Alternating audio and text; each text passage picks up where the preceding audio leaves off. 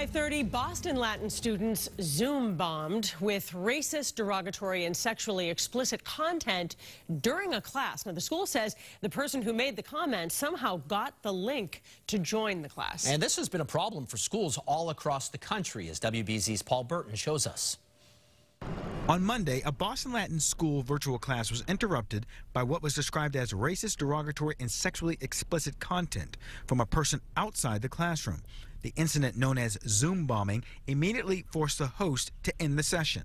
The virtual environment itself um, opens up an entirely new um, entryway or environment for um, criminals or others that want to uh, abuse or take advantage of, of children in learning environments. Cybersecurity expert Peter Tran says instances like the one at Boston Latin School are happening all over. Earlier this year, Medway police investigated a Zoom bombing incident involving the middle school. On the national level, it's become uh, quite um, pervasive as far as um, Zoom bombing. Today, Attorney General Maura Healey's office announced a new initiative for schools to help prevent and address hate and bias. We want schools to know their legal obligations, how to prevent harassment and bullying, what kind of uh, curricula and training and education that you need to provide, and also what to do when something happens. Tran says when it comes to learning, students need to feel secure, whether they're online remotely or here at school, and controlling their environment is key to safe and effective learning. So if you take a virtual roll call, for example, and you have 20 people invited,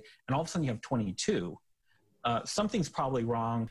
Boston Latin School officials informed all students and parents of the Zoom bomb and have also provided meet safety tips for students and families.